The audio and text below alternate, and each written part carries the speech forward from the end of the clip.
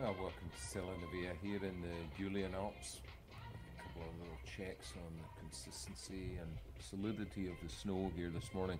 Very difficult conditions for the organisers to manage, but uh, I have to say, the local organising team here have done a great job in preparing the piece. It's uh, a very steep finish pitch, short run to the finish there, just the last three gates on the flat section. And uh, we can be sure that this culmination of the 2024 winter season, uh, brought to you on FIS TV, will be a thriller. No question about that.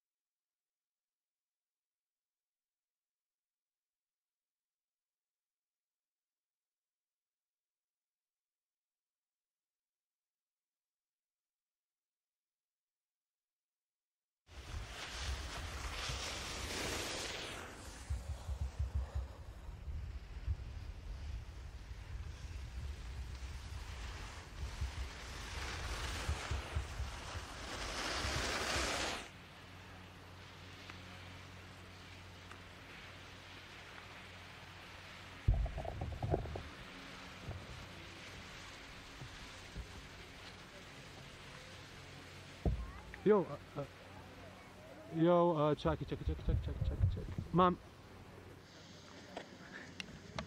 E, ja slišiva.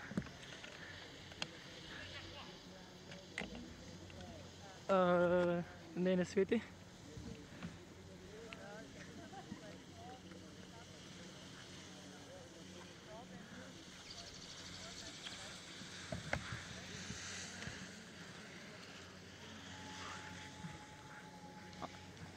E, ja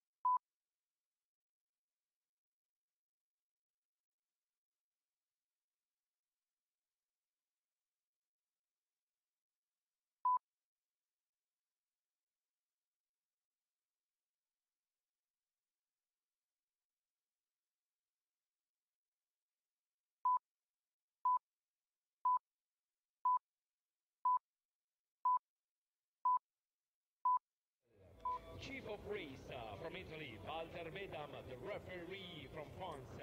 Well, welcome everybody uh, to FIS TV once again. You're with John Clark, and we're in Sella Nevea. We're here for the World Cup finals of uh, the Para Alpine season. This 2024 season has been beset with problems, mainly weather related. Uh, calendar's been shifted more or less on a daily basis. And uh, this week's events, these final competitions of the 24 winter, um, are no different. Many program changes will bring you up to date with those as the next few days uh, competitions progress. But the good news is we have decent weather today for our opening giant slalom of this broadcast program, and uh, a, a difficult hill, I would say. Uh, having worked on this uh, mountain before, I can assure you it is a very, a very changeable pit, changing pitches, changing gradients. Um, a characteristic of this slope that adds to the difficulty for the skiers. We're seeing a giant slalom competition uh, taking part today. And uh, just while we make final preparations here in Italy, our cameramen are getting into position. But uh, the weather, as you can see on screen, rather damp. Not actually raining at the moment, but a band of thin mist stuck in the trees across the middle part of the course. That shouldn't cause too much of a problem for the competitors today. Um, but as I've said, uh, warm weather and soft snow conditions resulting from that high, higher than average temperatures, causing a bit of a headache for the organisers. We've actually had to cancel the downhill, a high speed event, so unfortunately we won't uh, be able to bring you that this week. But we have giant slalom, slalom combined, and a super G on the schedule. E. A message there that uh, is very ready to race, that's for sure. Bella sudata, Marti? Warmed up. Un po'. to start with her coaches. Women's visually impaired category is the first that we'll bring you this morning. And uh, those again familiar with la in alpine streaming skiing, the sulla skiers ski with a guide. piattaforma FIS.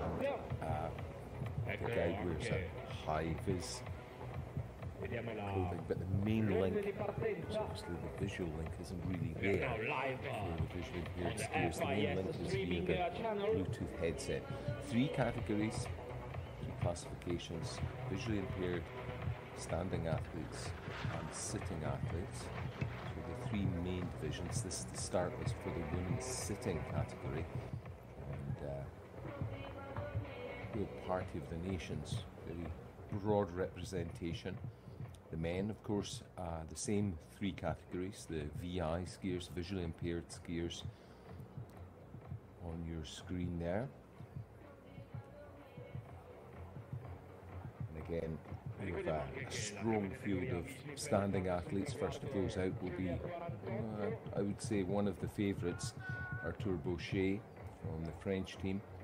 But uh, as this season has shown, guys in, in this particular division extremely competitive. So it, uh, it, this race won't be over until later this afternoon. It's a two-run event, remember. So first run sets up the start order for the next competition, uh, next run rather, which will bring you noon at GMT or one o'clock local time.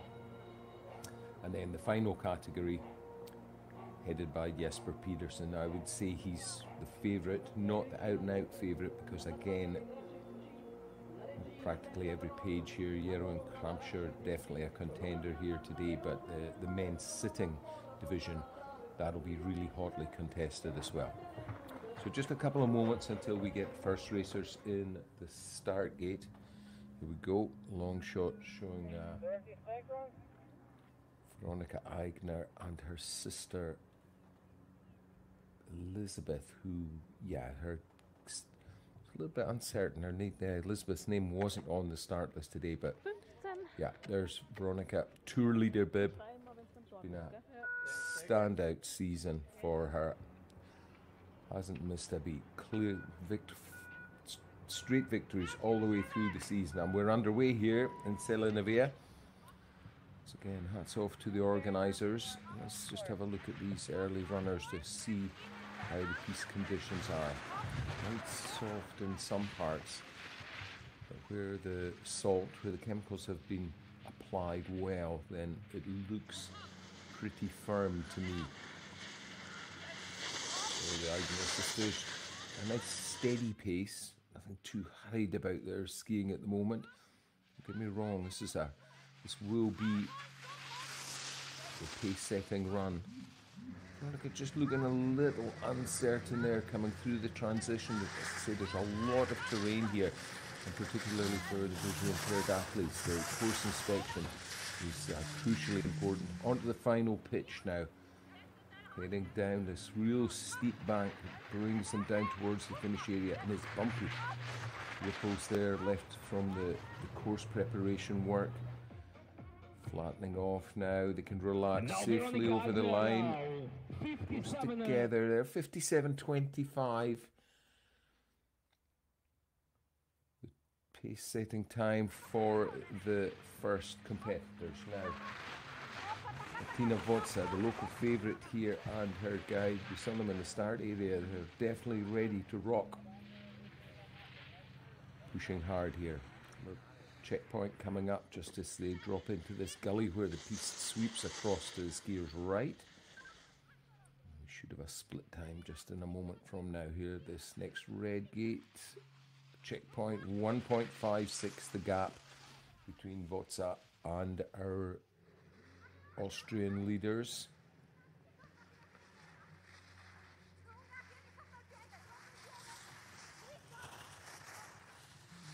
Good guide in there, information about the snow and how the hill is running.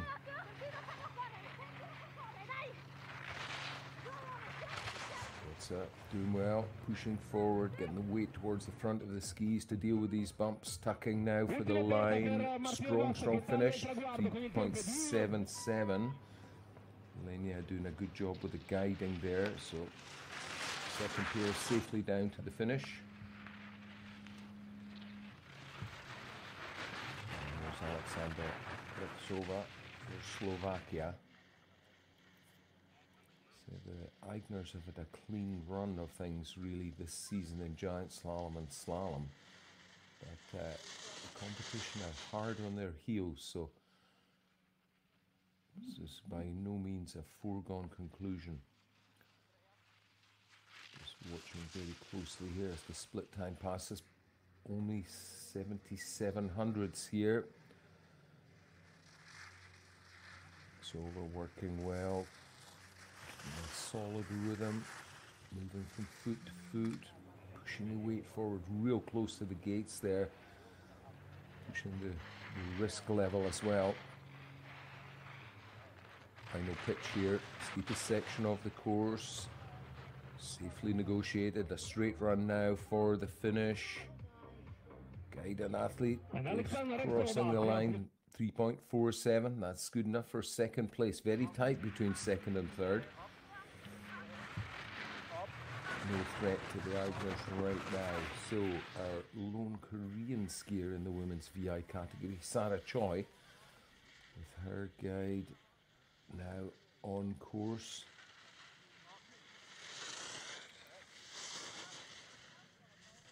Good work there. Just a little tentative looking and the weight getting back, and oh, the first crash of the day. Oh, it's a, an orthodox roll of for the guide there, managing to catch his athlete as she was sliding, uh, sliding down towards him. But uh, looks to be relatively unscathed. We'll just watch here. No signaling by the guide to the course workers that they need assistance. So hopefully Sarah's as I say, relatively unhurt. Twenty year old there just composing herself at the side of the hill. Meanwhile, up at the top. No sign of nerves from the remaining competitors. Okay, but I'll show her Swedish leader in giant in the giant slalom standings at this moment. She too, a bit like uh, Veronika Aigner, having a, a very a, a strong, strong run of uh, results so far this season, especially in the in the technical events.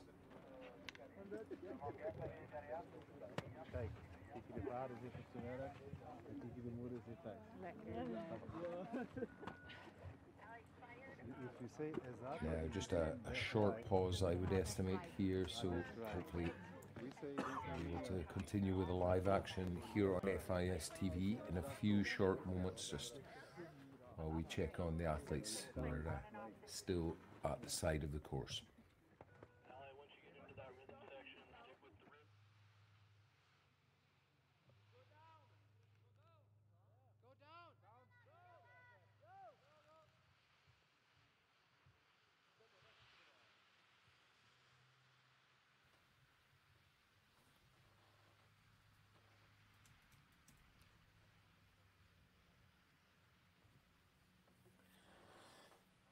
Well, gentle lower section here for uh, Sarah Choi with her guide Sang Hyun Young. The Korean pair sliding down, side slipping down the final pitch. Well, stop in the start area. Great Britain's Menna Fitzpatrick and her guide Katie Guest. Just absorb this unplanned pause in the proceedings. Uh, well, certainly the most experienced competitor here at uh, in the women's VI category. 25 years old, yeah. It's a trademark smile from Menna. She's uh, showing no nerves there at all. Coming to this competition from, I hope from a victory on this hill a couple of days ago seems to have refound her giant slalom form. And uh, both she and Katie have been very relaxed here. That'll all change in a moment or two. I think we're probably a minute or two at the most away from a restart here in this women's giant Course slalom competition. We Selena start uh, in uh, 50 seconds. ready go. It will be too much. 50 seconds, I think we heard there from our start referee, our starter rather. Ready? Go. They're getting them underway real quickly here. And out of the gate goes number five, Fitzpatrick, on course for Team GBR.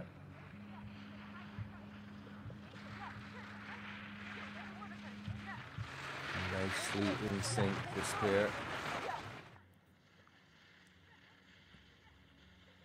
Line just a little late there from the red to blues, a long, long left foot transition there. Really close to the gates there. Cutting that tight line. He's breaking just a little through the turn. Drift rather than carve, but uh, keeping the work rate solid, good timing, good synchronicity between them. And Fitzpatrick looking for the aerodynamic tuck position there. Definitely trying to hunt down their previous skiers ahead of her. I think the Aigners may be tough to catch in this first run. And our final competitor in the women's visually impaired category, Menna Fitzpatrick, goes over the line. Fourth place at the moment, 1-0-2 So fourth place for now for Menna.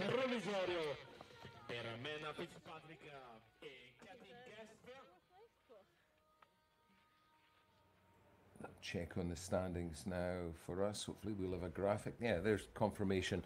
Unfortunately, Sarah Choi of Korea will not be back for a second run, but four of the five competitors in this women visually impaired category safely in the finish area and led by Austria's Veronika Aigner.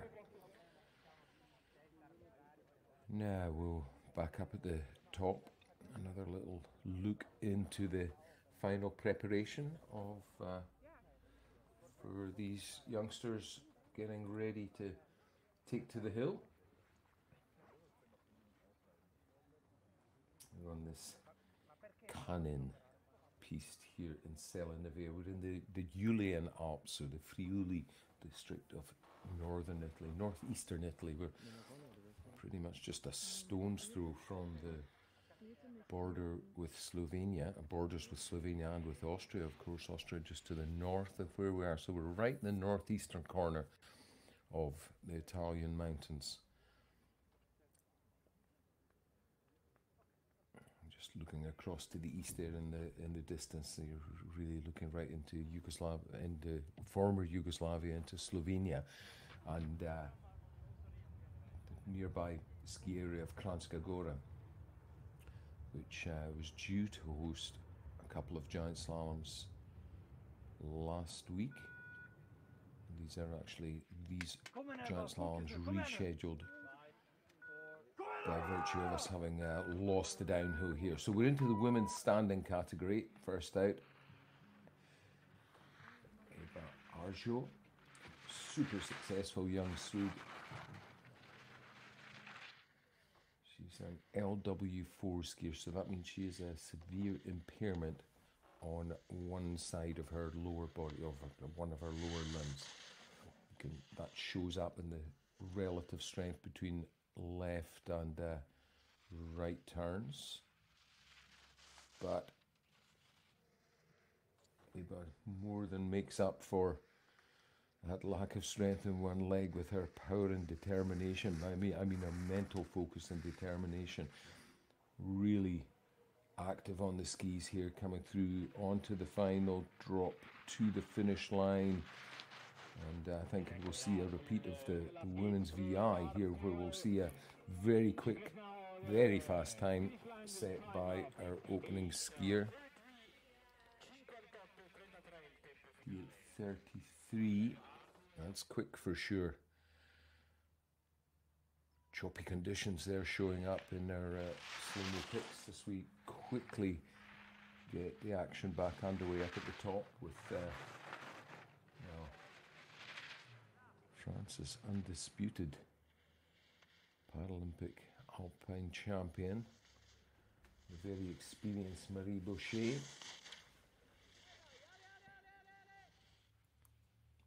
Bochet. he runs wide there. That gate's caught a few of the skiers out. It's actually on the flats, but because the piece swings across to the right, skiers have to set up a little bit higher for the left foot turn, and uh, as they have to move from their left side across to the right of the piece.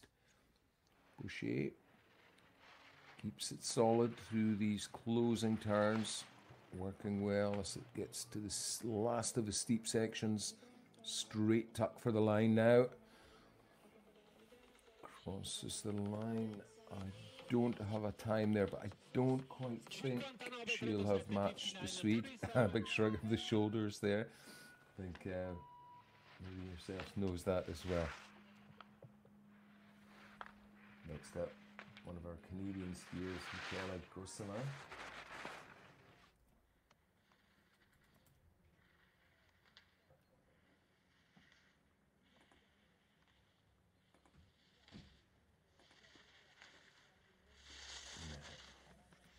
Gosselin on course here. Excuse me just while I refresh my technical data. There we go.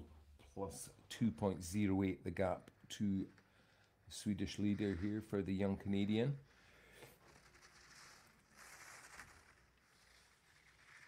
And just uh, to confirm Marie Bochet's time 59.37 that leaves a deficit of 1.04 for the French woman against a Swedish leader.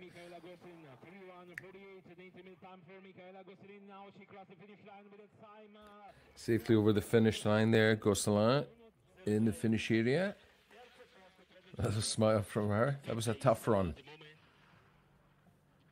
Those uh, ripples that are in the snow. There's not enough snow really for them to have pack the snow in a way that it's leaving a really smooth running surface. So it makes for a, an unrelenting degree of work as the skier makes their way from top to bottom. And Maria Rieder here for Germany gets pushed wide to her left on that bogey gate, just on the piece transition as she comes through the gully. Back on the attacking line here now. Only 1400s at that top split, so competitive in the early turns. Clock ticking down now. The time to beat is 58.33. Germany pushing on for the line, 59.10.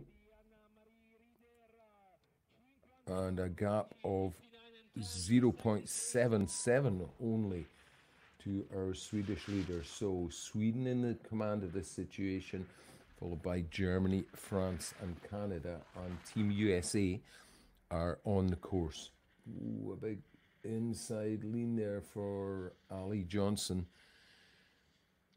Needs to try to get a little more of her weight over cleanly over the single outside ski. Letting them run well though, 2.42. It's uh, the gap to fourth at the moment is 4.94, so she could stay in touch with the potential podiums with this run, barring any mistakes in these closing few turns. Almost in sight of the finish here now. A Couple more gates, and then it's the final rollover. Looking tired, getting pushed really low, having to make a big adjustment. That's a shame for Ali. A lot of momentum lost there. She made that recovery. 7.49 the gap. Her total time 105.82.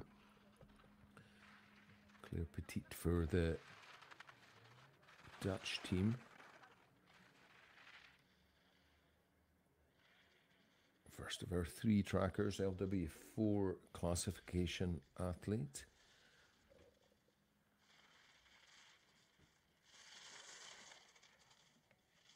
Working well. Light conditions improving. The fog that was kind of stuck on the piece has uh, departed now, and blue sky starting to show. So better conditions for all the athletes for sure. 2.15 at the split time for the Netherlands team. Claire Petit keeping the work rate solid here in the closing turns. Physical challenge this hill. These little washboard ripples sap the energy with each and every turn. Heading for the line now. She looks to have made it safely. Tucks in. 4.68. That's good enough for fourth position. And uh, gives her fighting chance, I would say. There to push for a podium come the second run. Now, Austria's first standing skier today, Eva Maria Jochel.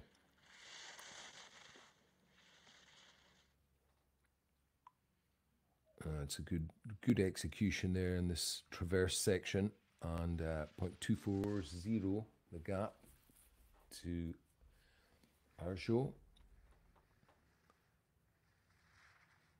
Nice clean turns, getting a good grip here.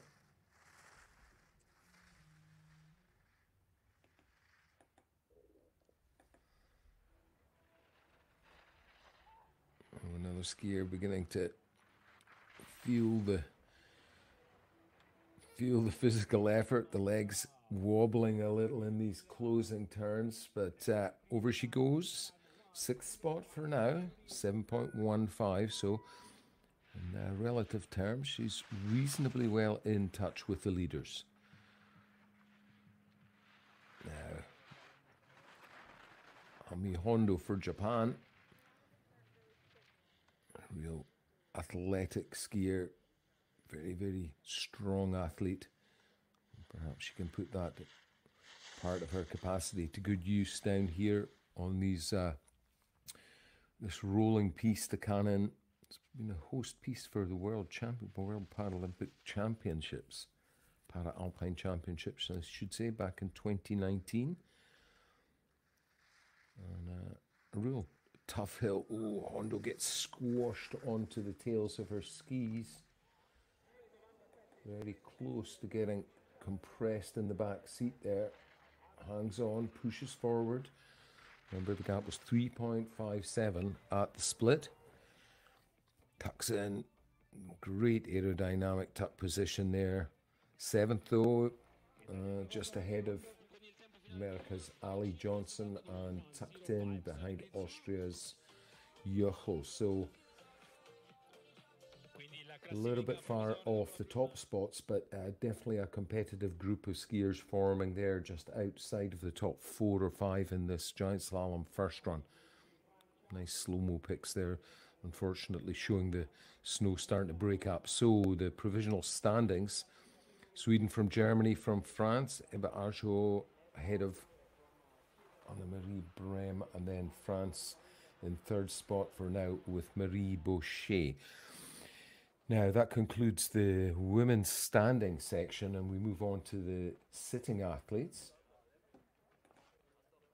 And Elena Forster, there she is. Uh, she should be first up, wearing the leader bib. Now that means she has, by virtue of her performances so far this season, accumulated the greatest number of World Cup points 100 World Cup points awarded to the winner of each and every World Cup competition in each discipline 80 to second, 60, 50, and so on down the rankings. Forster, a, a really experienced skier, and uh, yeah, regular performer on the World Cup tour for the German team. There's a couple of adjustments to be made. Notably, the, the start gate needs adjusted for the sit skiers so that uh, they get the higher wand. It's about German ski technician just Hash just giving some last words of wisdom and advice to Forster as she gets ready to launch on course first of our seated athletes. Now, the setup of the the rig, the the sit ski itself and the suspension system will be critical today because of these washboard ripples. And you can see the ski bouncing a little as she goes in, through the transition from turn to turn. Just in that little split second where the ski is light, that's where the the suspension system needs to stabilize the, the movement of the ski under the seat of the sit ski a little adjustment there. Runs in very hot to these tricky traverse gates.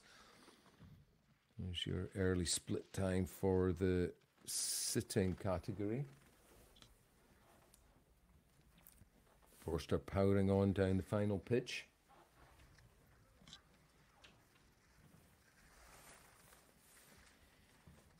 Keeps it calm, keeps it steady, runs wide on a couple of these lower turns, but maintains the momentum. That's smart skiing by Forster.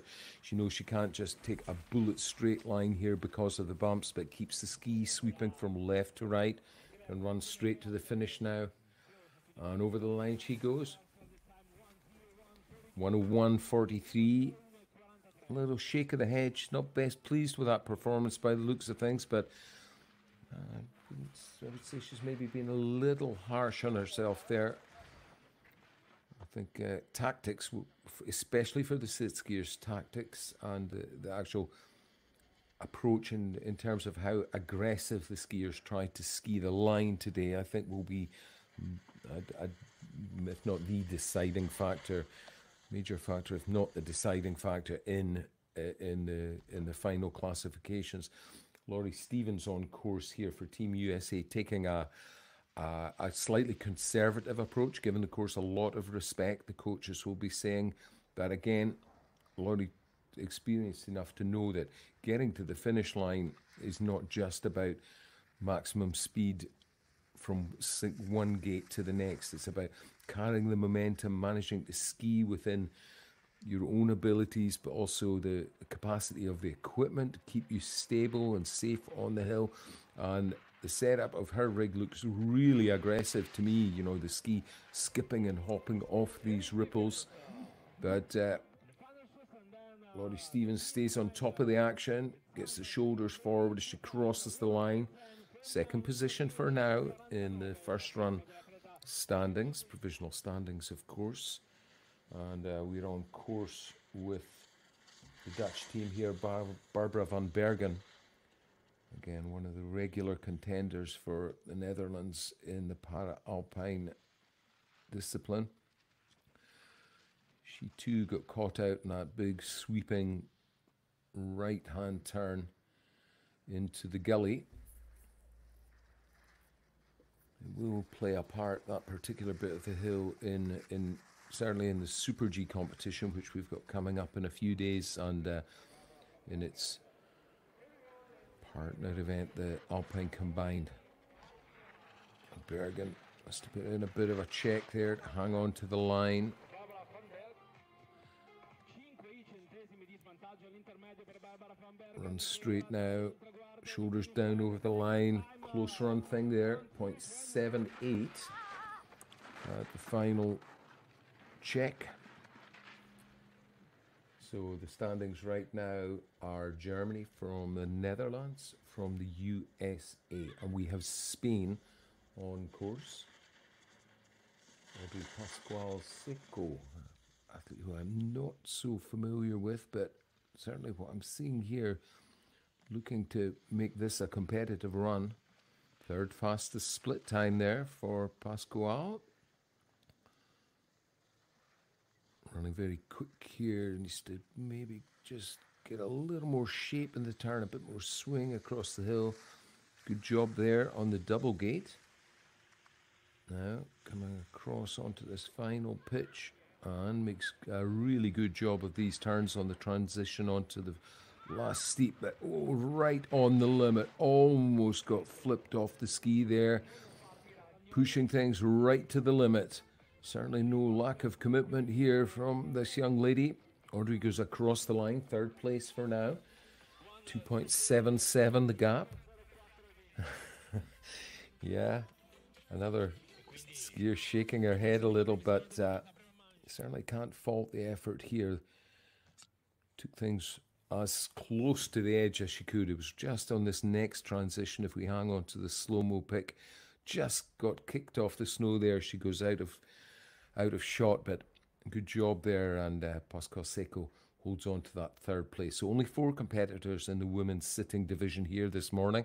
And Elena Forster, despite frustration with her uh, run, hangs on to the lead by a, a pretty healthy margin. But the very competitive Van, uh, Barbara van Bergen is behind her with a 0.78 gap to try to find, to try to work on come the second leg.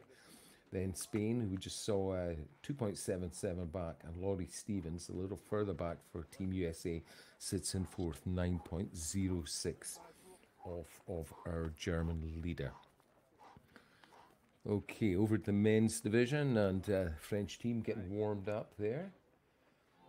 Be uh, first competitor will be Mikhail Golas, one of our Polish skiers.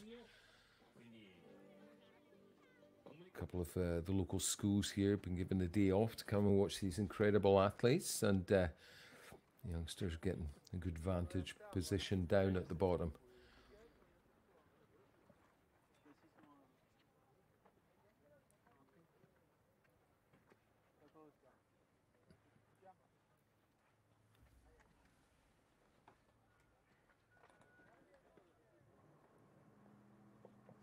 Say anything there uh, in case we disturbed Arthur Bauchet there as he was doing his mental rehearsal. But uh, we're on course here with the first of the men's VI pairings for this giant slalom competition. Poland, this is. And uh, we've got Mikhail Golas and his guide, uh, Kacper Walas.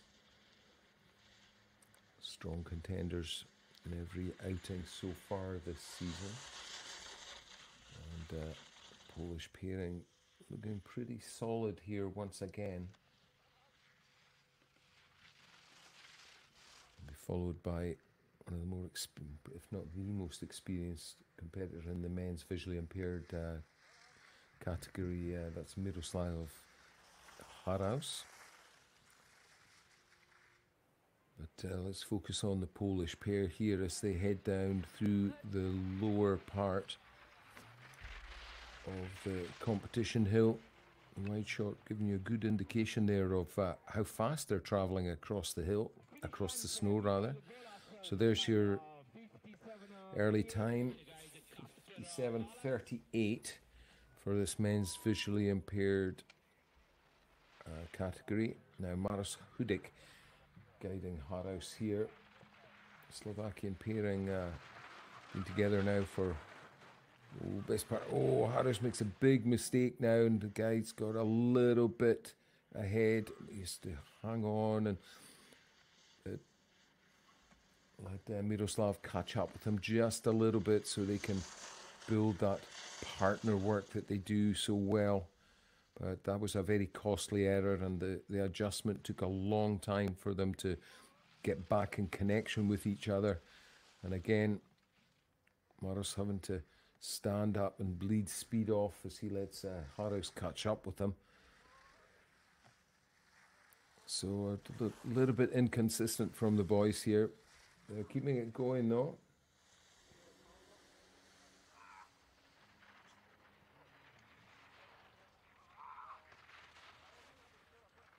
Certainly no lack of physical commitment from this pair.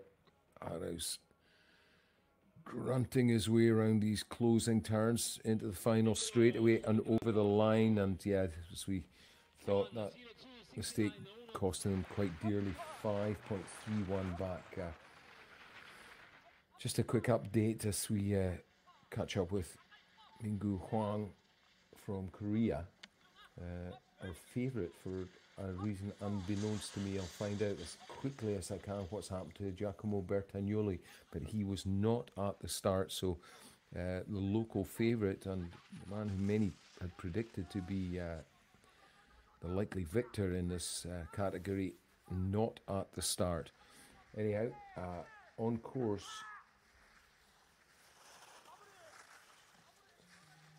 One point three six the gap at the top split really competitive run here.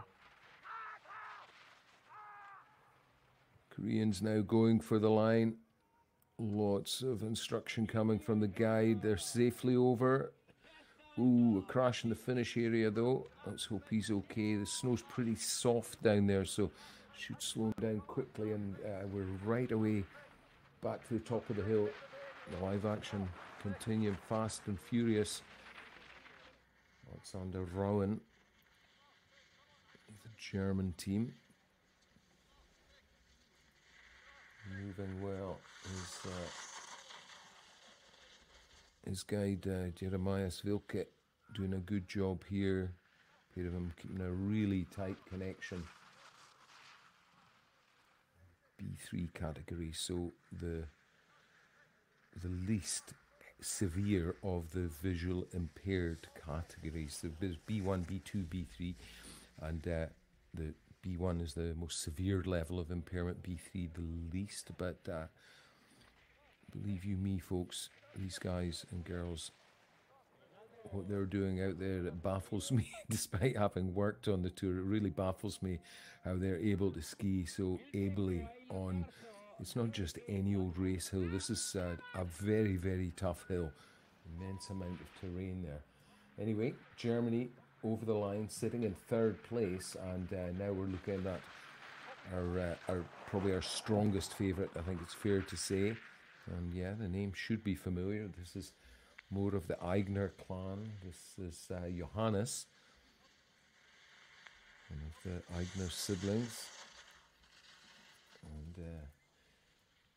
The Austrian team wearing the, the red tour leader bib. Johannes, uh, with his guide Nico Haberl, have uh, pretty much had had it their own way all season long and uh, leading the World Cup standings as we take uh, take in the final stop here in Italy on this 2024 FIS Para Alpine season. Real good work from this pair, keeping the connection nice and tight, but most importantly, keeping those skis carving left and right. Now tucking in unison over the line. That was strong, strong run, and no surprise there.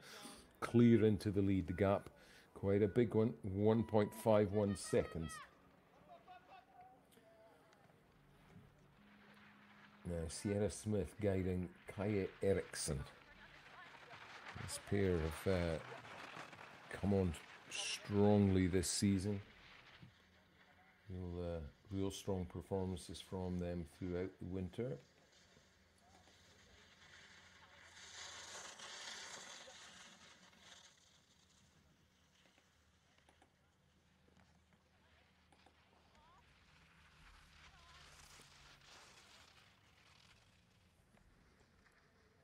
Ooh, really aggressive skiing there by Ericsson. Uh, I think if he, he might agree that he's very strong in slalom as well. I wouldn't say he's an absolute slalom specialist, but certainly these GS skills are really impressive here today. Very much in touch with Aigner's with Aigner's time. Coming now for the line crossing very closely together and look at that only 0.38 this is going to be a real shootout come the second run so uh, no big predictions for me for the moment that's for sure. Aigner leads Ericsson just going into third and uh, the live action continues with our, our final skier in this category Hyacinthe Deleplace the French team. This guy Roy Picard just stretching the gap almost to the limit, I would say. Hyacinthe a, a B2 skier, so he needs the gap to be as tight as uh, as tight as they dare, really. So it's the guide's job to get the pair moving as quickly as possible, but uh, it's a, an important part of the role to keep that gap tight. This is a better better spacing here, I would say, and they can build things up from here. They've got 1.26 to find maybe too much of an ass to look to take the lead, looking to go into a potential podium. 1.78, it's not far off it. It's fourth position for Deleplace.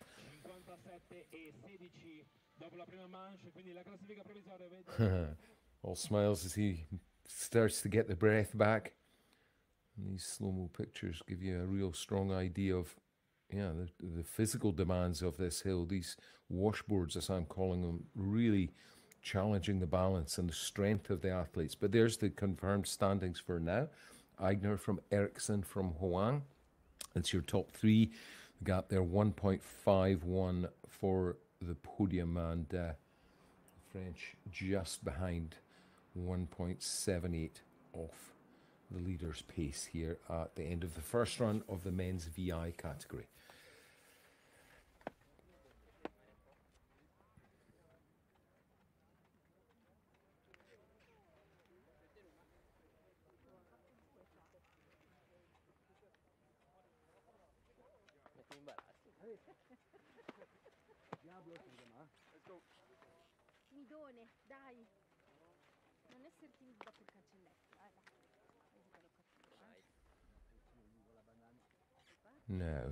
Just checking on start list here. Seems like there's been a bit of confusion over some of the bibs this morning, the start bibs, the numbers the athletes wear, but uh, certainly there's a picture that clears up any confusion about who's uh, who's in command of the situation so far at this late stage in the 2024 winter. Arthur Bauchet, the young Frenchman on screen wearing the leader bib by virtue of strong performances in every one of his outings so far this season. Uh, Bauchet gets us underway for the standing category. He's an LW3 classification athlete. His condition presents much like cerebral palsy would, with uh, impairment down the whole of one side of his body. So Bauchet battles fatigue, you know, his fatigue onset is far greater than uh, uh, an athlete without that sort of condition. But uh, seeing Bauchet ski, when he gets the bit between the teeth, you wouldn't uh, really know it driving long and strongly round on the left ski there. Real good technique. Tell when he's in balance. If you see the ripples that bounce his head and shoulders around. That's when the, the bumps proving the athletes are right on the limit. Punching over the line there, Arthur Bauchet, 54.82. That was a strong run. We'll watch that time closely. Now, Federico Pellizzari for the Italian team.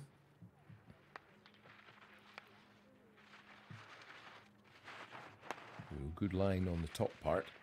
Getting right in close on the gates, but keeping the transition from turn to turn real short. You know, a quick switch from left to right ski and right to left. Allows him to maintain the carve, keep control, and from that control, try to find acceleration down the fall line.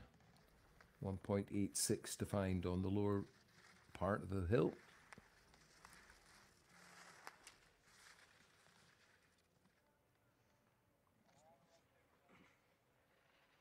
His uh, classification, the measure of his impairment, doesn't allow him any handicap time, any time off. That's why it says factor 100%. So when the clock is running for Pellizzari, he's, he's running in real time. Now, Aaron Lindstrom, he's in the same category, same classification as Pellizzari, so he'll have 100% factoring as well. So no uh, no percentage of the time deducted to balance the the clock against the athletes different differing levels of impairment within their main categories be they visually impaired standing athletes or sitting skiers Ooh, Lindstrom very strong on the outside ski on that turn. I think the, the coaches are all understanding now they need to let their athletes know that that long left footer coming through the gully or into the gully is uh, one of the, the key parts of the course. Ooh, Lindstrom gets all twisted around. Makes the recovery though. He's on a really hot line there, trying to make up for that mistake, I would say. 2.33 the gap at the top split. Pushes over the line, 3.65. That gap's grown. Lindstrom into third for now.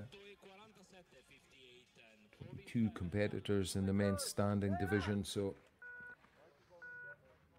a lot of talent up there still to take to the hill. This is uh, Norway's sole skier in uh, in uh, in the stand-up category. Marcus Krasto Nielsen.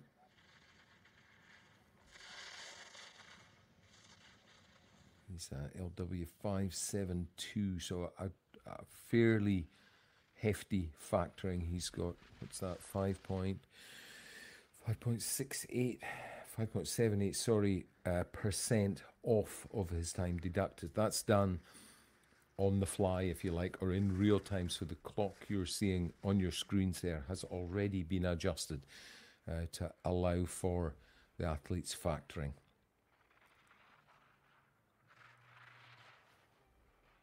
Marcus getting the body down low now to try to get out of the wind, create that aerodynamic position as he goes for the line. 7.02 the gap, that's good enough for fourth place. And uh, over now. Santeri Kiiveri, a sole Finnish competitor in the men's standing category.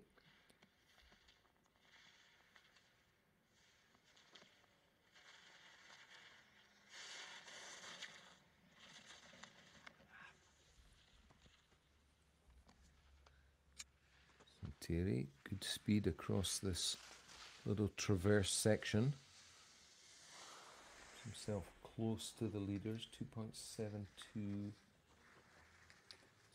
where that would put him if I look at my live standing. Certainly good enough to be on the provisional podium.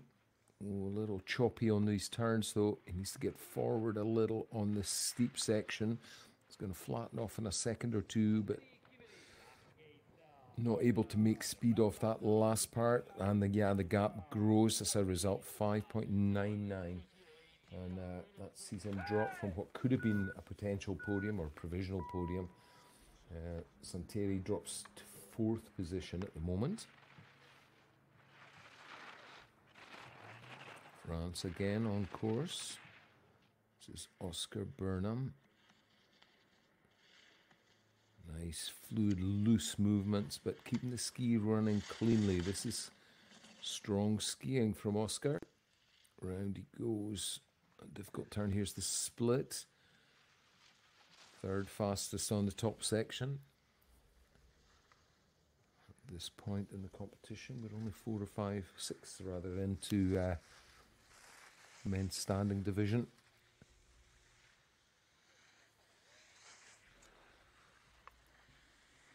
And, uh, we have a total of 22 starters in this category. Here he goes for the line, finds a real straight section through these closing four or five gates.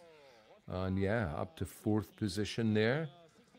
Good strong skiing on the lower part for the Frenchman. Sees him go fourth in uh, the provisional standings. Tommy Grochar from Austria. Actually, from just across the border, actually, a native of Kärnten or the Carinthia region in the southern corner of Austria.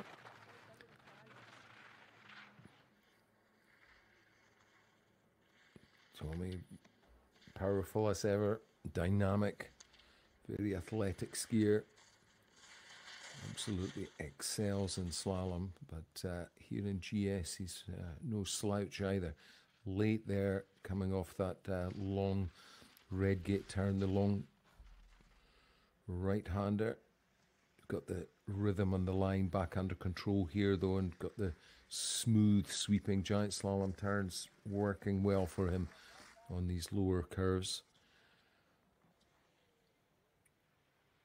Final little steep section here. Sets up well for it. Gets dropped a little on the red gate though, but hangs on to the line now. Should be good from here. Needs to try to run it straight. Yeah, Grochar kept a lid on that run. He's sometimes been a little inconsistent, but sees himself safely down in fifth place. And uh, right back to the top here with Jordan Broisin. French really packing them in in this division. Remember, Arthur Bauchet, uh, number one skier, leads this first run of the GS, men's GS, at the moment. Broisin, well, for now, that's good enough for third, third place.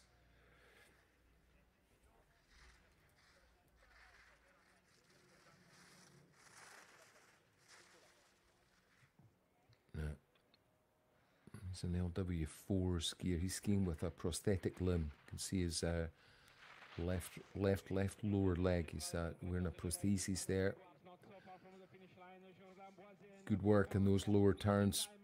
Stays in that fourth provisional position, uh, but he's very, very close.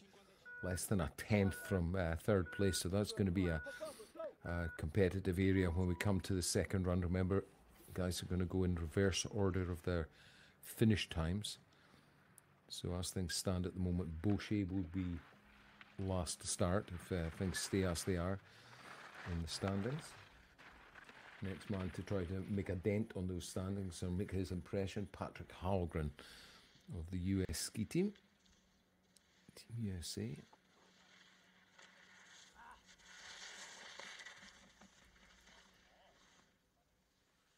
Actually, uh, yeah, right. He's a native Australian, but the US ski team coach Ryan Pearl, he's the course setter for this morning's first run. A lot of people always ask me, does it does it create an advantage if your coach has uh, set the course? Maybe a minor psychological comfort, to be honest, but ultimately the bottom line is everybody's got to ski the same set of turns. So uh, from the moment you push out of the start gate, it's all on your shoulders, nobody else's really. So uh, Hallgren can expect no favours from the hill. He does a good job there on those closing turns. Sitting there, ninth quickest so far. He's a little ways further back than I think he would have hoped. He's not far off uh, Norway's Marcus Nilsson Grasdo, who's 13 hundredths ahead of him. And uh, the Austrian challenge continues. Uh, Markus Salcher, a very familiar face on the World Cup and uh, Paralympic Tour. Another uh, native of Kärnten, so a man who's not had far to travel to get to the competition venue here. Sella Nevea Tarvisio is, is, I say, just across the border, just south of Austria and just to the west of Slovenia. So, uh, for the guys from Kärnten, it's not not much of a hop at all. Salcher, he's the uh, 407, yeah, 407 time the gap. Seventh position for him, packing in very tightly. The guys are between, say, third and eighth. So, uh, a, a, bit of a gap opening out now between the guys on the top steps of the, the standings at the moment. So, we take a look at uh, Jesse Keefe uh, for the US ski team. Keeping the work rate high. Got to keep the keep the rhythm of the course, keep the skis swinging, try to find a smooth transition from turn to turn, but at the same time put maximal pressure down on the turning ski and try to get it carving as cleanly as possible. JC, another skier with a prosthetic limb in the LW4 category. Staying loose but strong on the ski, running well, running quickly now for the line, punching over. 6.42 the gap for him.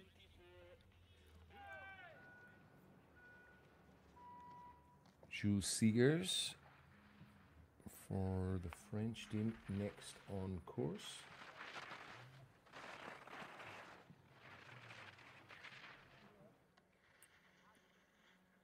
LW9 2 classification athlete, so a fairly hefty factor to assist him. Nice turns over the split time marker 1.99. Competitive skiing here from Segers.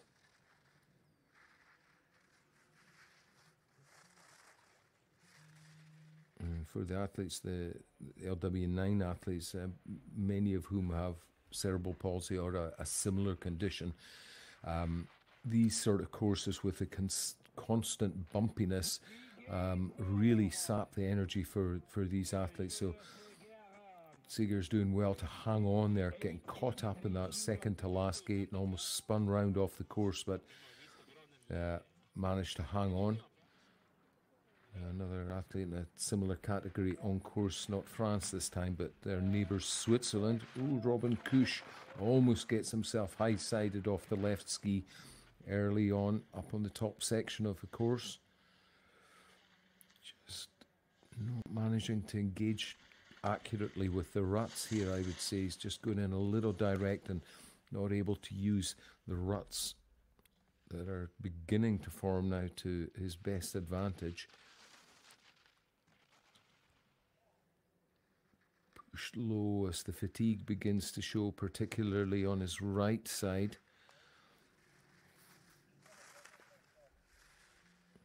He's in touch with the leaders though.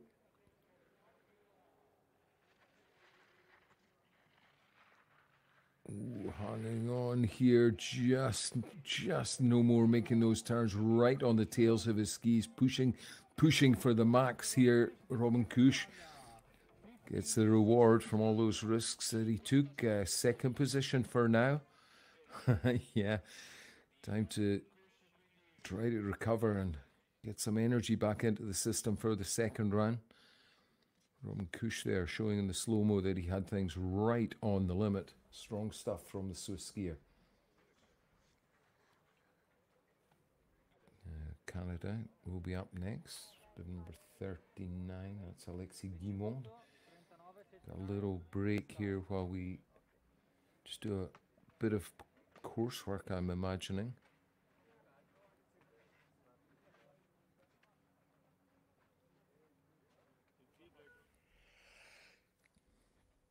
quick look at the standings uh, as uh, Alexis Guimond makes his final preparation. Uh, Arthur Bauchet hangs on to the lead. Robin Cuche of Switzerland, who we saw just a moment ago in second, and then 3.23 seconds back in third position is Italy's Federico Pellizzari. We're back on deck with a live action. Alexis Guimond on course for Canada. Little patches of mist rolling through, but that won't really affect these guys.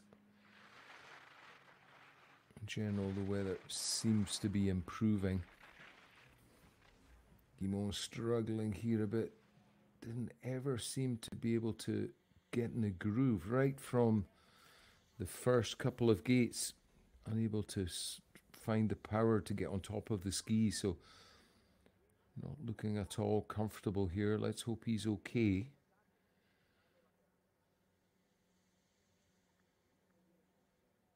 You know, get assistance from some of the coaching staff in a moment or two. Can't really put my finger on exactly what went wrong, but he didn't ever seem to be able to settle into the get in the groove of the the turns and the rhythm of the course.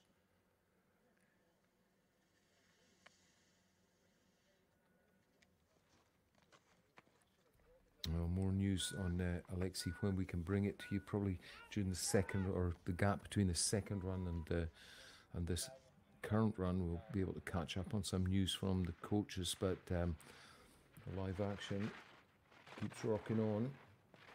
This is another of the our Austrian neighbours here, Nico Pajantschitsch. Pajantschitsch, uh, regular performer for the Austrian team, growing in strength and experience with every season. No favours from the factoring system for Nico, so he really has to take every risk and uh, make each and every turn as clean as he possibly can. Nice smooth skiing from Nico here.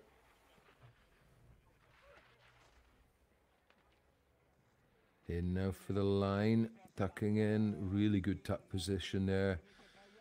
Pajantschitsch over the line, 3.61 the gap. That's him just off the provisional podiums in fourth position.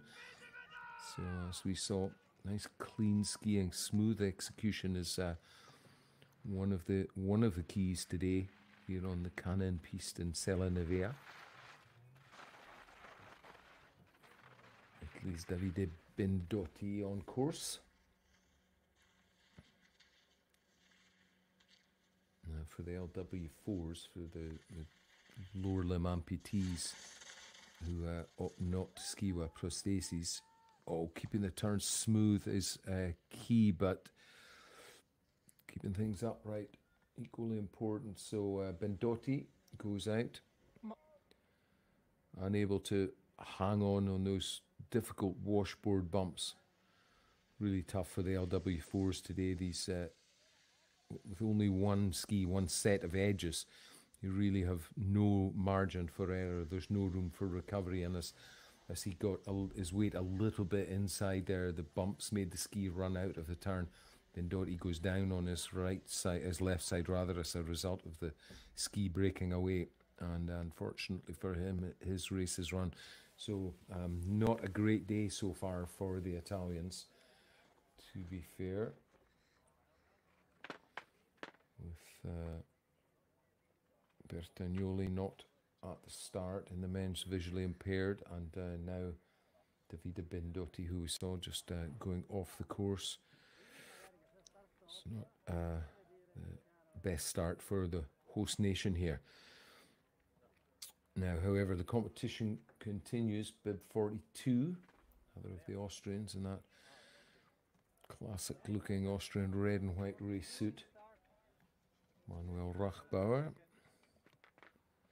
getting himself ready.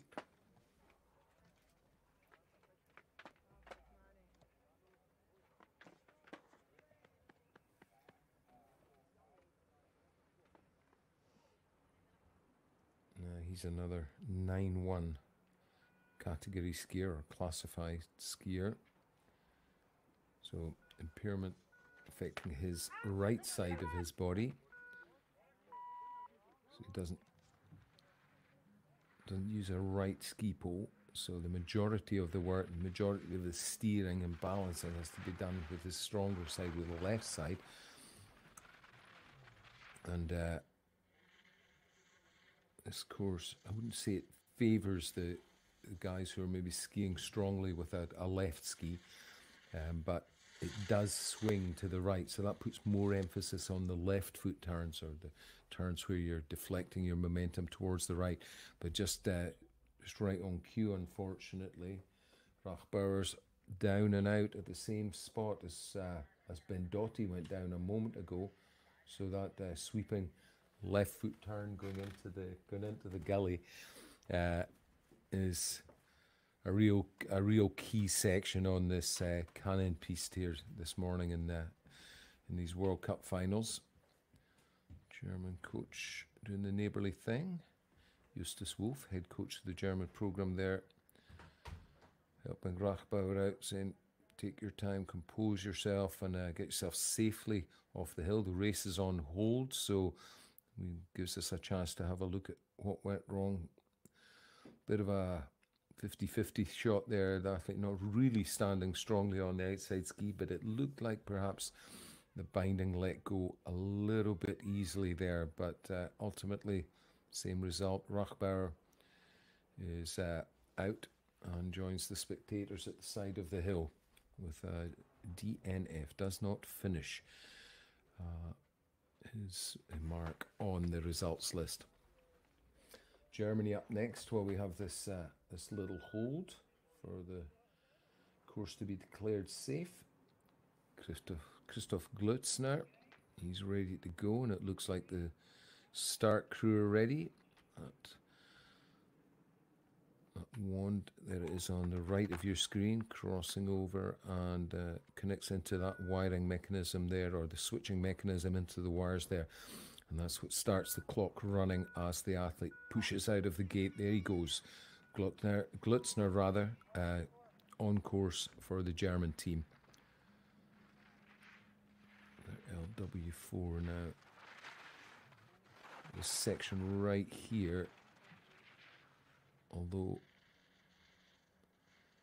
yeah, the snow is softening a little bit. These ripples and the, the tighter set of gates in the section he's just negotiated uh, are make it tricky. And the, the turn that he's just finished there just now, the blue gate just going out of vision, that seems to be becoming a bit of a bogey gate. It's real bumpy, and if you run low in the line, those bumps are more severe. So that's where Bendotti and uh, some of the others have, have, have run into bother.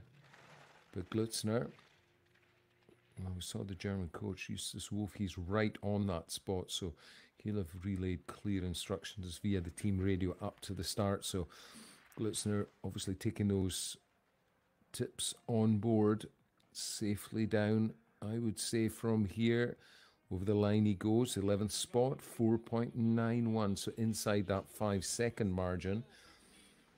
Yeah, looks a little frustrated with his efforts, but certainly for my money, that was a strong run keeping them going. This is Andrew Haraghey, another of the American skiers.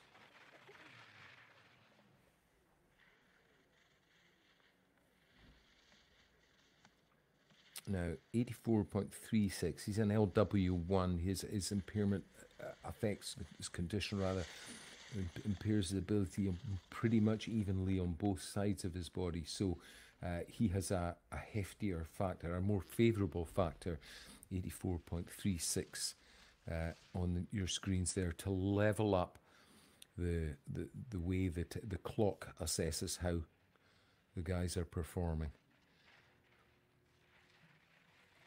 So for the LW1s, really keeping the the turning action smooth is is is crucial because of that loss of movement, loss of swing from side to side. Oh, it's a shame. Fatigue creeping in there, I think and down he goes. As to come, if you come to a stop in any of the disciplines now, uh, ultimately you have to pull out of the race. So that's Haraghey, Andrew Haraghey. That was a, a disappointing exit from the race for him because uh, up until that point things were looking pretty solid. We we're on course again with the Germans. Keeping things going fast and furious. This is Leander Kress. Round he goes. Strong turns there. And he's swinging across the right. And then on the little toe turn, if you like, he's got to compensate for the the mechanical disadvantage he finds himself at of, if you like, standing on the wrong edge of the wrong ski to get himself around the turn. So, keeping the body still, keeping the upper body in balance, keeping the weight driving forward, more crucial than ever for these athletes.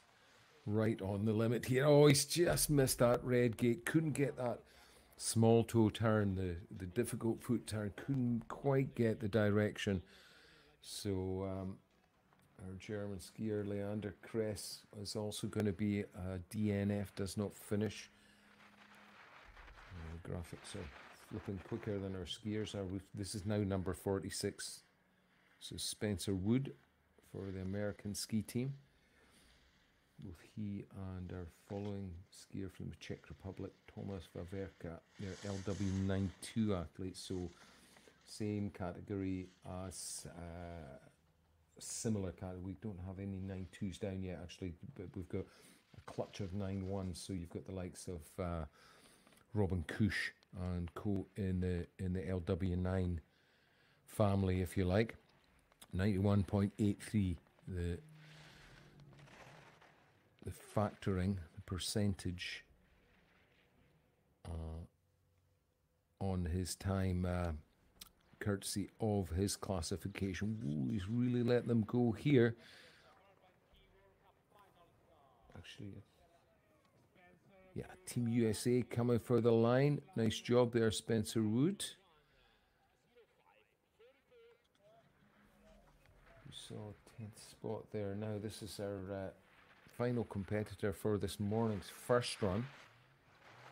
For the men standing, that is. We've uh, into the the hotshot sit skiers next. 17 of those guys to come. But uh, Thomas Vaverka will be the last of our athletes. He's actually the lowest seeded athlete in uh, these World Cup finals, in the men's standing division anyway. And uh, taking uh, a lot of uh, a lot of important experience, big event experience home from these competitions. Although the World Cup finals are neither World Championships nor Paralympic Winter Games, the finals, being the culmination of the season, carry a lot of weight with them. Many of the national associations will use them as as benchmarks, if you like, for future squad selection. And uh, of course, it's the last opportunity for athletes to score World Cup points to uh, try to improve on their World Cup standings for the whole season. So, final competitor Thomas Vaverka for the men's standing category is safely over the line. 16th spot for him. Here's the slow mo picture showing uh, showing that course really isn't improving, and those ruts and bumps are becoming a little more difficult with each and every one of the runners. And there's the official graphics for those standings. Bochet from Cuche, from Pellizzari. Federico Pellizzari skiing strongly this season for the Italian team. The Austrian veterans Grochar and Salz, Salcher rather, a little bit further back than they would have liked in ninth and 10th. A few did not finish as five in total, and uh, the big disappointment for the local fans. Obviously, Davide Bendotti going down on that tricky long left footer uh, coming into the gully. Uh, many victims claimed by that series, uh, that section of the course so far this morning. Well, quick look at the hill as we uh, make the adjustments. New start ones set up, and uh, you can see there from everybody's attire. It's, uh, this is springtime in the Julian Alps, that's for sure. Kurt Oatway, probably the most experienced competitor on their squad, looking very focused, very determined. Argentina represented there, and uh, all smiles. It's funny the different, um, everybody's different approach, their different looks. Uh, at the top. That's Enrique Plantey. Kurt Oatway, who we just saw, and Jesper Pedersen will get us underway right now. The red bib tour leader for this 2024 FIS World Cup Para Alpine Circuit. Pedersen, clean sweep in GSs. Multiple gold medalist in the last couple of games. And uh, most notably, I would say, is a absolute sweep in uh, in uh, in the Paralympic Games in uh, in Be- in Beijing, four golds rather, but uh, really impressive stuff. A great rivalry between he and uh, Holland's or Netherlands, Jeroen Kampschreur. Kampschreur will be with us shortly, but Pedersen showing his trademark risk-taking style here, really letting it fly on the lower runs, showing he means business, looking to wrap up his GS season with another victory, 53-81. That's fast. Oatway is on course for Canada. But uh, Pedersen showing the way with that run. That's going to be tough to beat. I would suggest Oatway diving in deep into these turns. Rig doing a great job. The suspension looks to be set up very, very well. All the movement happening just as it should. The suspension system absorbing the shock of uh, the bumps and then extending the the rig again to help keep the ski in contact with the snow. He is losing a little bit of ski to snow contact, but Oatway riding it out. 0.94 off of Pedersen's time at the top split, and he's, uh, I would say, slightly cleaner than the Norwegian skier was on this section, giving it a bit more respect. Pedersen really took big risks there. Oatway has a slightly more measured approach. What's the final result? Well, it's I would say cost him a little bit of time, but he's safely in the finish and uh, provisionally at 2.13 back. That puts him in second position for now. Plantey for the Argentinian team. Well, team, he said more or less a one man team. Ooh, really wide on that blue. Look at the, the deep the track he dug there trying to get back on the ideal racing line. Plantey takes the long way around there.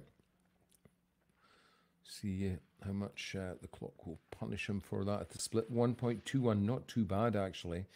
That was uh, he did a good job of getting out of trouble there. Skied himself back onto the line smoothly, rather than uh, trying to make too main, too much of an adjustment and uh, risking scrubbing more speed off as a result. So very experienced competitor now. Enrique, oh, he's in very hot to this blue gate. He's going to make the red just. That, uh, oh, that was touch and go in those closing gates. He's lucky to make it to the line there. Third position for now, 2.32. He's very close to Oatway. And, uh, yeah, competition is going to be pretty hot come the second run. I would say already, you know, no less than Less than three tenths between second and third at the moment. This is Ravi Drugan for the American team.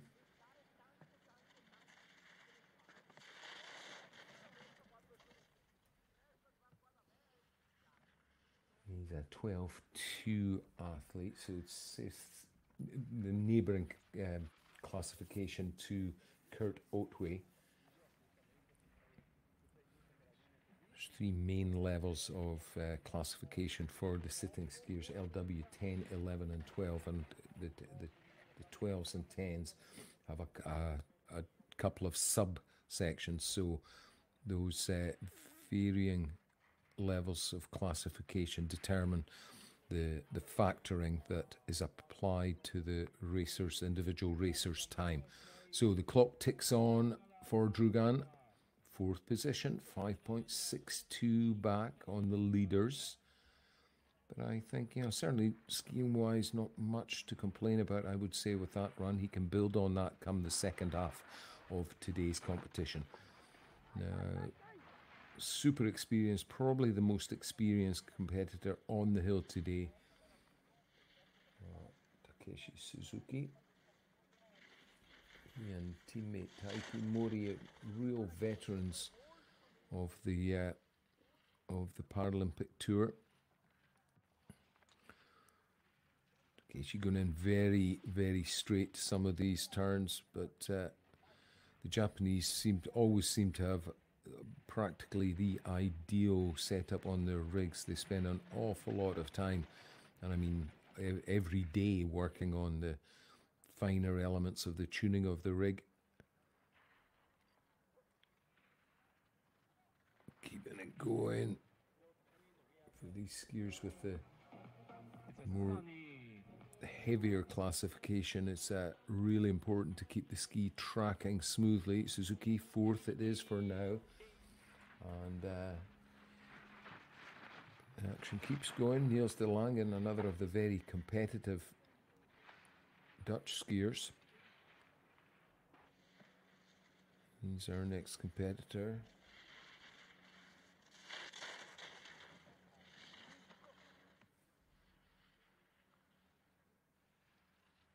Good work through here, staying out of the worst of the ruts is uh, De Langen. Leaves him a little bit offline is to make a big adjustment as he come back onto the steeper section of the course. That's why you see the ski almost popping off the snow or actually coming off the snow sometimes in the transition. Just to chop off the top of the turn as best he can and then try to set the carve up. That's beautiful skiing there. That's uh, through that section now, I would say that's up about the mark of Jesper Pedersen through those turns, but uh, it's close and close enough for second. 1.02. Pedersen may not have this all his own way come the second run. The Netherlands skiers are trying to hunt them down. Uh, second of our Japanese competitors, we've just seen Takeshi Suzuki and assist Taiki Mori.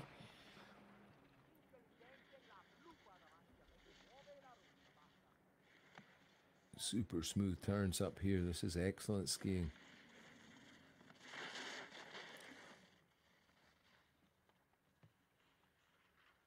Just sometimes a little bit, hang on a little bit long to the end of the turn, but he's in touch with our leaders, no question. Ooh, there's a wee mistake there. Bounced wide on the blue gate. Just lost contact with the snow and had to make an adjustment. That'll have cost him well. I would I would say anything up to four tenths or so. He's working well through the middle part here, taking a slightly wider line than some, but carrying very high speed across the snow, I would say. So, despite that mistake, he's definitely not done yet. Tucks in for the line, third position. The, the mistake costing us, we would have expected, but um, definitely in touch at 1.95 back. Ooh, into the fence. That was a big, big hit. That was uh, Lou Brazdagand, Frenchman, going into the netting very heavily. Looks to be all right though. He managed to get the ski round in front of him, and that seemed to take most of the, the hit as he went into the fence. So have a close look at what went amiss here. The rig gets very deeply compressed. He hits that next bump, and the ski just keeps turning, keeps hooking him up the hill. He couldn't un- unload or unlock from the the edge that was already engaged in the curve, the, the left hand edge of the ski, digging in, digging in more, and then the hill coming up underneath him. And uh, almost impossible there for him to release the ski to switch across onto the on, on onto the other edge and make the next gate. So into the nets he goes. So we'll have a small break here while uh, the course workers put those B nets back in. They do need to be installed properly. They're not just a fence to mark out the side of the hill. They're they're designed to take a, a, a specific amount of energy out of any crash. So as the athletes pile into those nets, the nets soak up the energy, soak up the momentum, and uh, gradually, not gently, but gradually bring the athletes to a halt. So we're uh, just on a short hold and uh, getting a close look at uh, René De Silvestro and his start coach just going through their last moments of preparation. De Silvestro, a strong contender here today.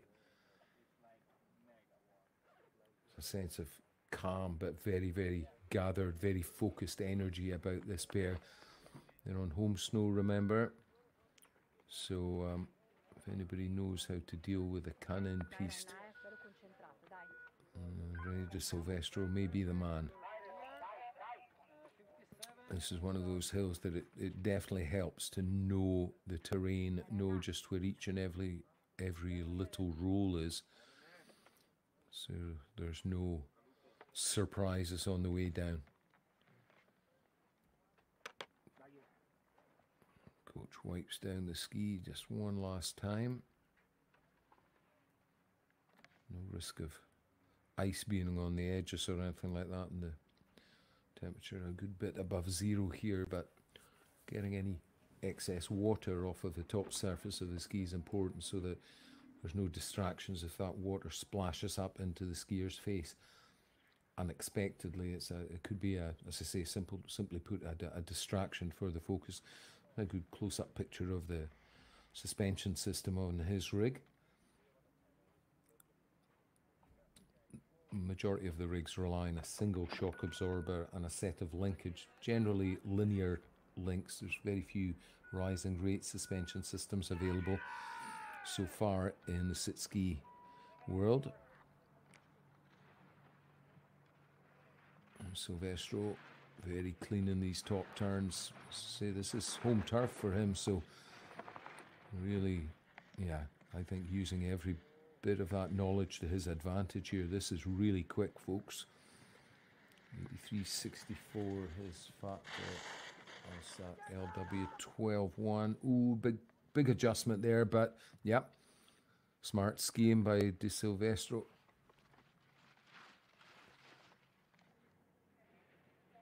Big, deep, deep angles into these curves to get the ski carving and biting its way around the turn. Momentum looks good. He's 1.08 back on the split time at the halfway spot. He's into the final few seconds of the course here and just a little little more drift than he would have wanted in that previous blue gate. Running straight from here to the finish though. Over he goes. It's close. Fourth position for him. 2.11. So that's a pretty tightly packed top four. The gap from Jesper Pedersen goes 1.02 to De Langen. 1.95 to Mori, and then Silvestro, who we've just seen, he's 2.11. So everything to play for. Kurt Oatway is in fifth at the moment. He's only two hundredths behind the Italian skier De Silvestro, who we've just watched. And uh, right now, we're uh, looking at our lone Chilean skier. This is Nicola Bisquertt Hudson keeping it smooth. Different tactic to the one we've just seen employed by De Silvestro, looking for smooth execution and therefore, a, you know, a, a consistent approach rather than a, a, a, more direct, a shorter but more risky attacking line like we saw De, Silvestro taking. So the gap's similar to De Silvestro at the split. be scared Okay, Nikolai, Nikolai's out of the, the more difficult turns. He's close here to the line. Yes, pretty close. 4.07, good enough for seventh for now. Not sure if that's a smile or a grimace. I'm sure none of this feels very pleasant for the athletes. Uh, it's so rough out there now. But, uh, let's uh, focus our attention very tightly on Jeroen Kampschreur. he and De Langen, the, the two strongest of the the Netherlands team.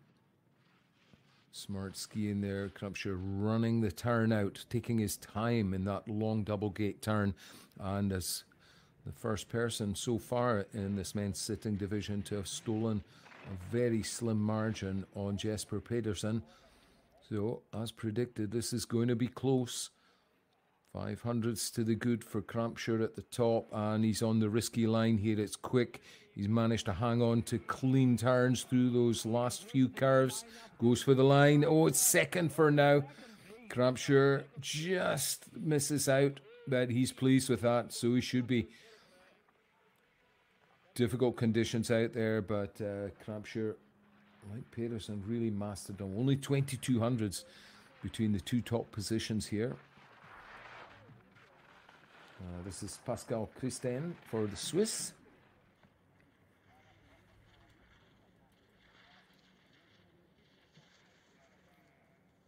Just giving the hill a little more respect than uh, than uh, we saw from some of the the, the the skiers just in front of him. The guys, Kampschreur in particular, taking big big risks. Christen opting for a slightly more conservative approach, but now starting to let the ski run a bit more. Letting it go. Gets bounced because of the increased speed. Maybe use the compression setting, softened a notch or two. Sometimes bouncing him into the air, the, the suspension not giving him enough absorption, I would suggest. I'll leave that to the Swiss technicians tonight, though, to deal with. Christen over in the 11th spot, 6.43 back. There's the view from the start. So it's it gets steep pretty quick. The first few gates are not too bad, but from right about here, where we're seeing Matthew Ryan Brewer of the US team, this hill is steep, pretty much all the way to the finish. There's a slightly flatter section, just the last four or five gates before they cross the line, but up here it really is uh, quite unrelenting. The gradient is steep. It's a, a serious red run.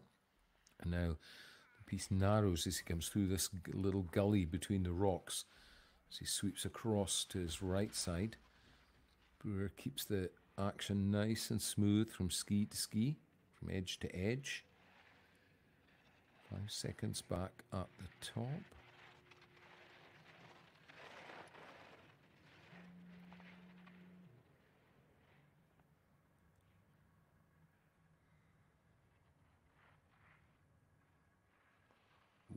Little skip from the rig there as the ski loses contact with the surface of the snow. Rides it well though. Now brings this one home safe. Matthew Brewer nicely done across the line there for Team USA. Drops in 10.53 back. That puts him in 12th position for the moment. Now I think this is the last of our Swiss skiers. Yeah, only three to go in this uh, men's sitting division. This is Christophe Damas for the Swiss team. Great angles. Look at the track he leaves behind. That's good. I love those pictures where you really see perfectly clean carve marks, pencil marks in the snow, the coaches call them. Little skid there, though, drops him off the line. Costs him a little bit of time, I would suggest. See what the clock gives him 4.32 on the split there.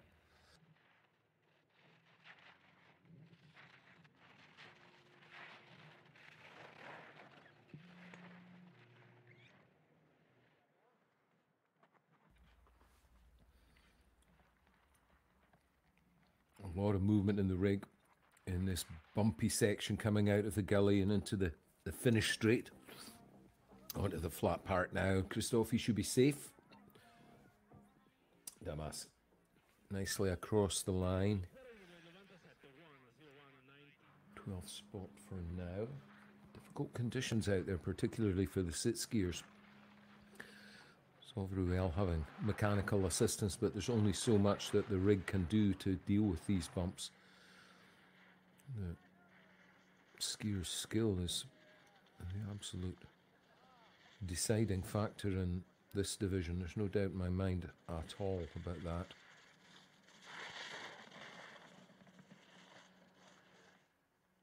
just a little bit slow getting onto the the, the left foot turn, if you like, and uh, he's solid across the this little traverse transition through the gully. Big line adjustment there on the blue, but he gets it back for the red, getting into trouble here with the bumps a little. Trying to get in on the ideal line, but the bumps forcing him out. Now, one last steep pitch here. Three or four gates down this section here. Yeah, he's got the measure of it now. Just gives it a little bit more respect than higher up. Gets himself safely through those tricky last few turns. Over the line he goes. Ronnie Ackermann, Ruben Ackermann rather, for the German team. Over the line, and that uh, brings us back to the top and Billy Dravitsky, who's our only New Zealand skier.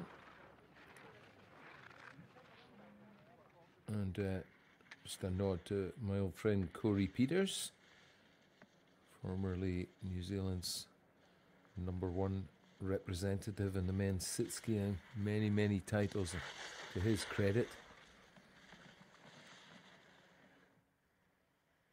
And uh, passing the mantle to this young man, 22 years old only, you know. So Billy got a hopefully a long and a career. Hopefully, will bring him some of the success that uh, that Corey Peters earned himself uh, representing New Zealand over the years. So Dravitsky gaining good, uh, really good experience here, if nothing else, on the European snow and having been on the tour this year. No, ooh, let's hang on, hang on to this one, Billy. Get the turn back. Ooh, that was an emergency recovery. That was really powerful stuff to be able to pull off those recovery turns there right at the end of the competition run just when fatigue would be more than creeping in. Yeah, 15th spot, but for me, the actual position isn't so important. Getting experience, rubbing shoulders with the guys who are the real established uh, athletes. Here's a look back at just how lucky or how skillful this recovery was. Managed to get off the flat ski slams it onto the left edge, and that in turn runs him almost into the fence on the other side of the piece. But he managed to swing it back and made it across the line just in the nick of time. Anyway, Pedersen hangs on to the lead only by the skin of his teeth. Jeroen Kampschreur once again, the Netherlands skier trying to hunt the Norwegian down. Enrique Plantey. Uh, just off the screen there for Argentina. But uh, sorry, to go back to the top three, it's Norway, Netherlands, Netherlands, then Japan in fourth, Italy in fifth. The names on those cards are Pedersen, Kampschreur, De Langen, Taiki Mori, and then Italy's René de Silvestro making up the top five. So we have a gap now until uh, FIS TV brings you continued live coverage of this giant slalom competition. Uh, we'll be back local time, that's Central European time. There's the graphic on screen. We'll be back at 1300 hours, 1 p.m. And for those of you joining us in the UK and in the GMT time zone, that's one hour earlier. For those of you, the rest of you joining us from all around the world, check your local world clock. it's about 1300 Central European time make a note, don't miss it. It's going to be a nail biter. We have six different divisions across the men's and women's categories visually impaired, standing, and sitting athletes. Each and every one of those categories is really closely contested so far from this morning's first run. My name's John Clark. I'm going to be back here, same place, in two hours from now. I hope you all make sure to join me. It's going to be a thriller as we do the concluding section of today's giant slalom competition. So thanks for your company from uh, Sella Nevea here, and uh, look forward to us all getting back in front of our screens in a couple of hours from now. We'll see you all then.